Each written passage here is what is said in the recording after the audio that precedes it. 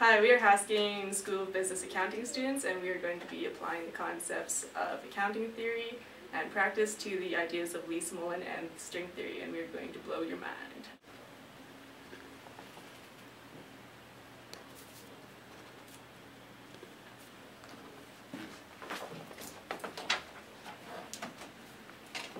Man, this accounting theory stuff is killing me.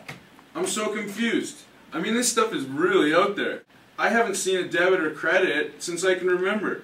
I just, I mean, accountants, we like to be practical. This theoretical stuff, it's really hard for me to wrap my head around. You think you're confused? This stuff is string theory. It's the most ridiculously over the top, unsupported, stupid theory in the world. I mean, they started by trying to explain the spin-2 state of a graviton on a boson with a 26-dimensional bosonic string, and then, well, they didn't like a tachyon, they didn't like the fact that it didn't have fermions, so they started trying to work out a symmetric superconformal symmetry on their world sheet, and then they added the fermions to it, and they got it down to an 11-dimensional matrix, but even an 11-dimensional matrix is just ridiculous. So finally we end up with this equation after we've instituted the time-space spinors into the fermion equation, and this is basically the simplified form of the current state of string theory.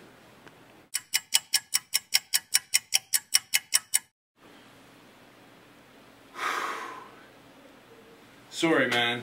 I didn't follow that at all. Would you mind maybe dumbing that down for me a little bit? I think I can explain that, but I'm going to require a piece of string. String has one dimension, its length. How long it is, it can be short, it can be long, but you can really only express it in one dimension. Where that dimension is can be expressed in a two-dimensional plane, as, uh, as if it's on a wall or something, or it can be expressed in a three-dimensional plane if it's aligned at an angle. You can mathematically express the position of a one-dimensional string in any number of dimensions, 5, 10, 11, 26, and this is what string theory does. It defines the entire universe in the shapes of extraordinarily small strings, and all energy states are either a matter of them, the string itself moving up and down, or a pulse traveling along the string.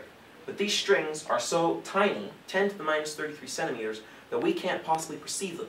But according to string theory, the entire universe is made up of this tiny object. Excuse me for saying so, but this stuff seems a little bit wacky to me where does it stand exactly in the physics world right now, and what are the other alternatives that are being considered? Actually, it is the dominant. Um, it's the dominant paradigm. If you want to get funded and do research in the universities these days, by and large, you're researching string theory. The only other fields are like um, loop quantum gravity, which is found by the relativists, followers of Albert Einstein. You know what? It sounds a lot like the accounting world. Accounting is, accounting is dominated by two particular theories. Mm -hmm. One of them, positive accounting theory, or PAT, and the other one, CMR. And they're both somewhat related, although the ends and the way that they seek to develop their research is a little bit different. But basically, in essence, both theories revolve around the Chicago School of Economics and the rational actor theory and efficient market hypotheses. And so both of these dominant accounting paradigms are founded on those assumptions. The problem is that it's been largely proven that the efficient market hypothesis is not valid. At very best, the market could be semi-strong, efficient, and if that, and in addition, the rational actor theory seems just absurd, because I don't know about you, but I've acted in irrational manners uh, very often in my life, and I think that it's quite a stretch to think that everyone in the market is thinking rationally. But at the same time, this is where the accounting world stands. So it seems like we're both looking at kind of wild and wacky things in the world, but not really being able to come up with any actual physical knowledge. Theory, practice, theory, practice. I thought that theory was designed in order to improve practice and make it more efficient, more economical, more tangible, something. But in the accounting world, it seems that theory and practice are on two different sides of the fences and really have no desire to meet in the middle at all. Is it like this in the physics world at all? I wonder what Albert Einstein would think about this situation and how he'd make out in the accounting world. Hmm.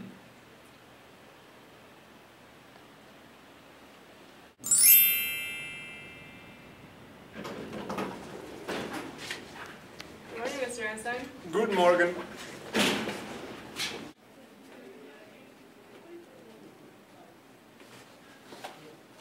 Oh, Scheiße.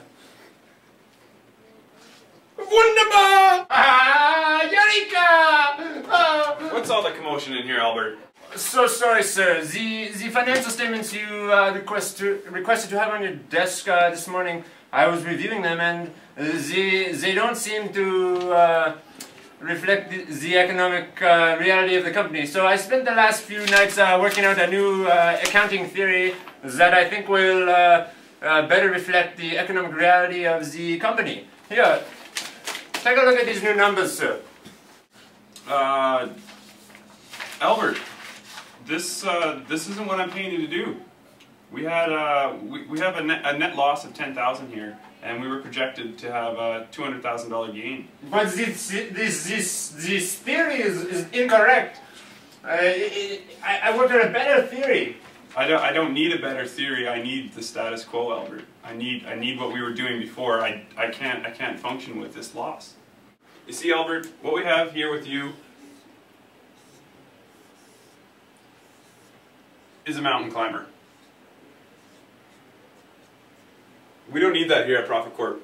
We're looking for hill climbers. Guys that go up and down, up and down, they do the status quo. That's what we need.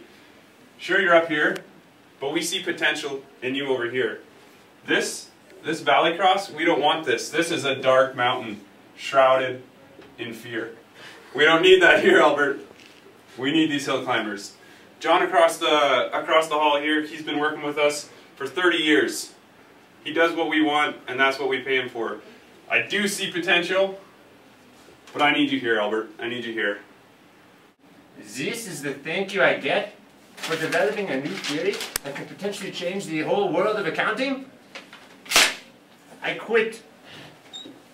I knew I should have taken that job developing the theory of relativity. You have potential here at Profit Corp.